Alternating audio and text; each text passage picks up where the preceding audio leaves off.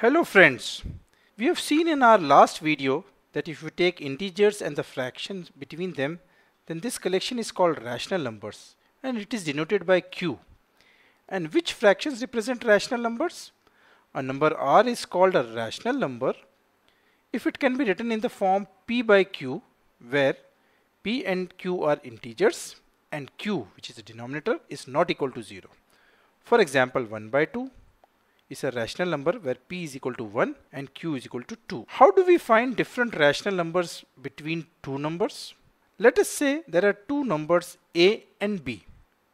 So a plus b bracket by 2 reside between them. It's the midpoint, isn't it? Let us take an example. Let's say the two numbers are 4 and 5.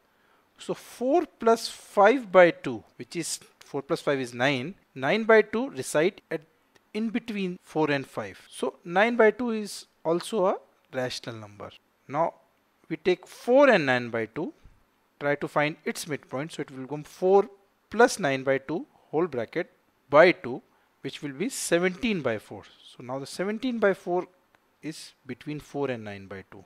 Now we take 4 and 17 by 4. Find its midpoint. So it becomes 4 plus 17 by 4 the entire bracket by 2 which is equal to 33 by 8. So 33 by 8 is between 4 and 17 by 4. So this way we can keep dividing, finding the midpoints and this method is called mean method or average method to find the center point of two numbers. This way we can find rational number between any two numbers and we can keep on finding hundreds of rational numbers between any two numbers. Now there is another interesting way to find some rational numbers between 4 and 5. There are fractions between 4 and 5. So we represent 4 and 5 as fraction 2. So we can write 4 as 12 by 3 because 12 by 3 is 4.